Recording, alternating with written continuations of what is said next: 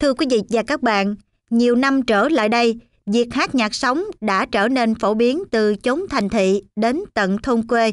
Mỗi khi có dịp tiệc tùng, nhà nhà, người người thuê nhạc sống về hát.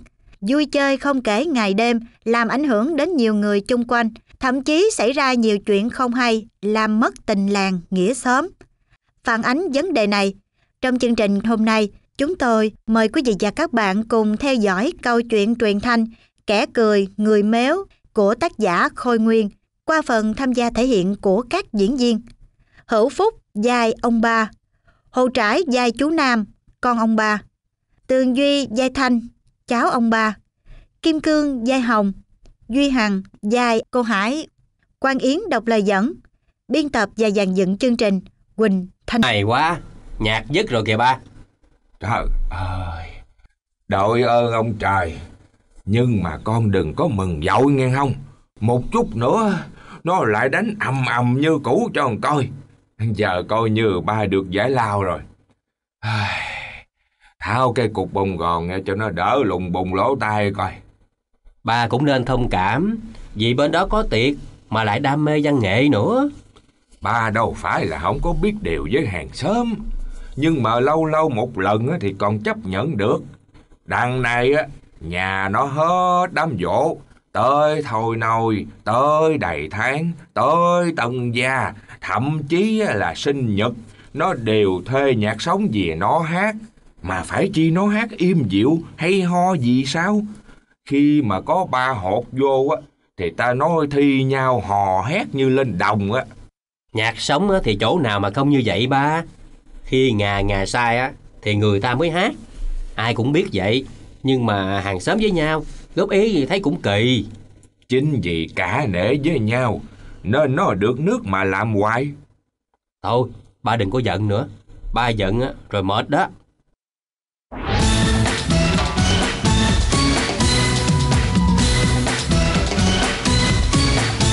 Đó, thấy chưa? Bà nói có sai đâu. Nhạc nó lại nổi lên nữa kia kìa.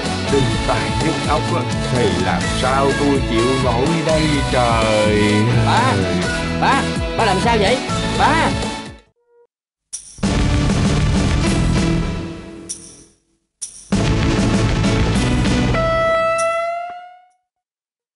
Ngày hôm sau, Hồng hẹn gặp Thanh vì chuyện của ông ba. Không, em hẹn anh ra đây á, có chuyện gì vậy? Nói cho anh biết á, là ông nội em không đồng ý gả em cho anh đâu. Ủa, kỳ vậy? Nhưng mà tại sao? Tại vì nhà anh hết á. Hôm qua, nhà anh làm gì mà mở nhạc lớn dữ vậy? Thì hôm qua nhà anh có đám dỗ, ba với anh hai mướn dàn nhạc về văn nghệ thôi. Ông nội em chịu không nổi tiếng nhạc, nên phải đưa đi bệnh viện đó. Dữ vậy sao em? Nhà anh hát gì mà từ sáng tới tối. Ông nội đã lớn tuổi, không ngủ được nên bị mệt. Ông giận và nói không có gả em cho anh. Đó, anh vừa lòng chưa? Lo hát đi. Chắc ông giận á, mà nói vậy thôi, chứ lý nào kỳ vậy? Ông cương quyết lắm. Có giỏi á, thì anh qua giải thích với ông đi. Chứ em với lại ba em bó tay rồi đó. Được rồi, để anh qua năn nỉ ông. Anh liệu làm gì đó thì làm đi. Thôi em về đây.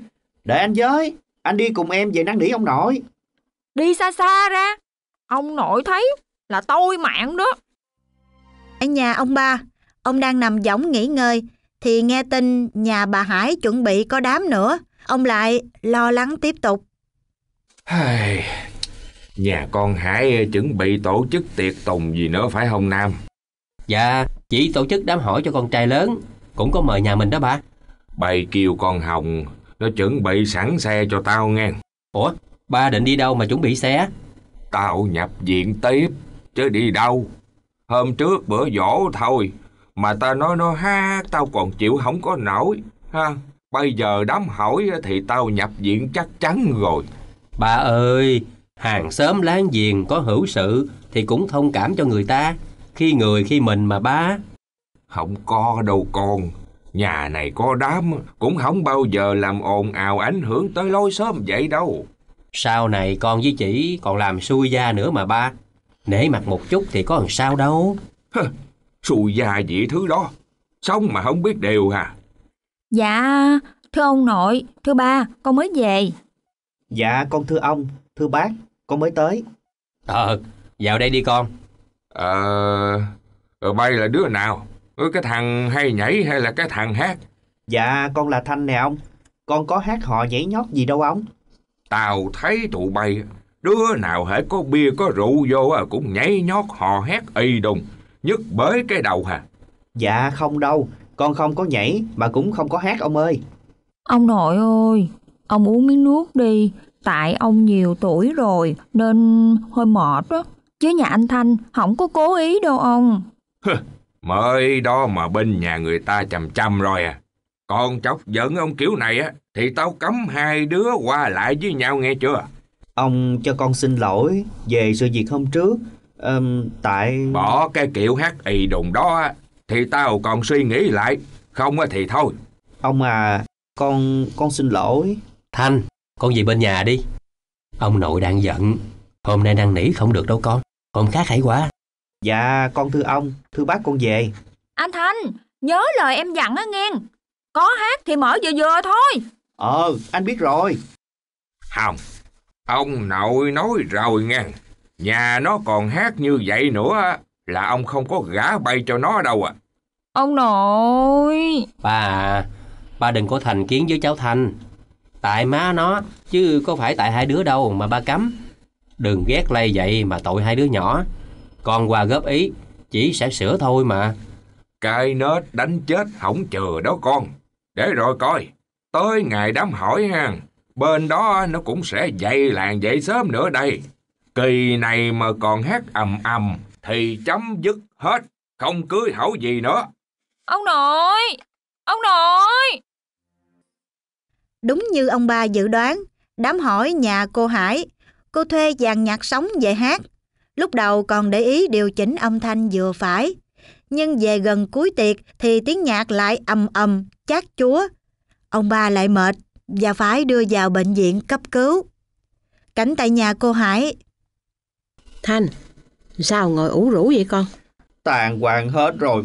Tiệc tàn, tình cũng tan luôn rồi mơ ơi. Đám hỏi anh con vừa xong, sao con lại nói cái chuyện xui xẻo vậy? Sao, con có chuyện gì buồn, kể cho má nghe đi. Con buồn vì chuyện tình của con quá mơ ơi. Sao con than thở chuyện này với má? Bởi vì á, chỉ có má mới giúp con được thôi. Khẩn trương kiểu này, chắc là muốn lấy vợ đúng không? Cái thằng, thấy anh con cưới vợ nên nôn chứ gì. Muốn vợ thì sang năm má cưới con hồng cho. Việc gì mà ủ rũ vậy? Còn gì đâu nữa mà cưới hả má? Cũng tại má hết đó. Con đã nói má kêu chỉnh nhạc nhỏ thôi. Nhưng má không có nghe mà mở hết công suất. Khiến cho ông nội của Hồng nhập viện nữa rồi kìa. Má có dặn dặn nhạc rồi đó chứ. Nhưng đến lúc vui quá à, nên mấy đứa nhỏ nó hứng quá kêu chơi hơi lố. Ông nội Hồng giận nên không cho con gặp Hồng nữa. Hồng cũng giận không chịu gặp con luôn. Câu như là đường tình đôi ngã rồi đó má ơi. Thôi, chuyện cũng đã lỡ rồi. Để má qua năn nỉ bắt ba cho. Con không có biết đâu. Má làm sao thì làm. Miễn con và Hồng đừng có bị bắt chia tay.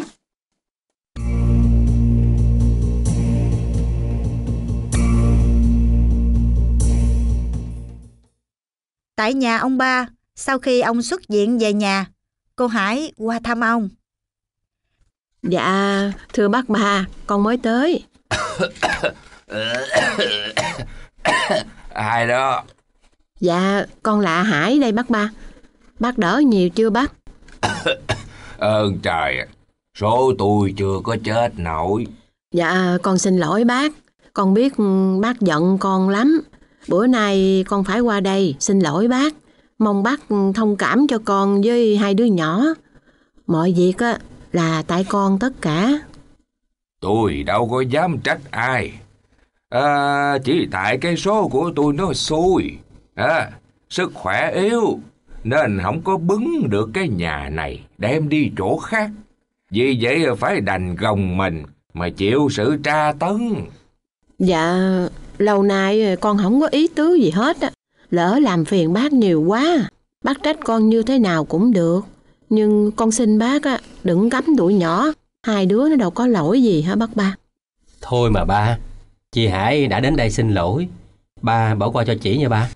Dạ, xưa nay á, con chỉ nghĩ vui chơi hát hò chút đỉnh, nhưng không để ý đến cảm nhận của mọi người xung quanh, nhất là người có tuổi như bác. Tôi đâu có cấm hát, nhưng cũng phải chú ý tới giờ giấc, điều chỉnh âm thanh vừa đủ. Văn nghệ là để thưởng thức, chứ đâu phải ầm ầm như vậy. Con cháu thành thật xin lỗi bác, xin bác đừng vì chuyện hát hò. Bác ngăn cản Hồng với thằng Thanh, cũng tội cho tụi nhỏ lắm á bác. Đó là chuyện của gia đình tôi. Dạ, con hứa với bác bà, từ nay á sẽ không còn cái cảnh này nữa. Có văn nghệ á, con sẽ chỉnh âm thanh vừa phải để bác và bà con chòm sớm nghỉ ngơi. Đừng giận chị Hải với tụi nhỏ nữa nghe ba. Thì phải để coi sao. Chứ đâu thể ngày một ngày hai là được. Dạ, con hứa với bác, chắc như đinh đóng cột luôn á bác. Ừ, nếu được như lời hứa á, thì bác ừ, bỏ qua cho đó. Dạ dạ, con cảm ơn bác. Sang năm á, con xin phép bác với anh Nam cho con cưới cháu Hồng cho thằng Thanh, rồi à, con sẽ rước dàn nhạc. Hả? Trời, trời ơi, bay lại rước nhạc sống nữa hả? Dạ dạ dạ không, con sẽ rước dàn nhạc, đờn ca tài tử để bà con hay họ hát giao lưu với nhau cho vui. Ừ, nhạc Tây hay ta gì cũng được. Miễn sao đừng có ồn ào, khiến cho bà con hàng xóm phiền lòng. Đừng có để cho kẻ cười người méo đó nghe chưa? Dạ, con rút kinh nghiệm rồi bác ơi. Quý vị và các bạn thân mến, quý vị và các bạn vừa theo dõi câu chuyện truyền thanh Kẻ cười, người méo của tác giả Khôi Nguyên. Chương trình hôm nay đến đây xin tạm dừng. Quỳnh Thanh Tuấn và những người thực hiện hẹn gặp lại quý vị và các bạn trong chương trình ngày mai cũng vào giờ này. Thân ái, chào tạm biệt.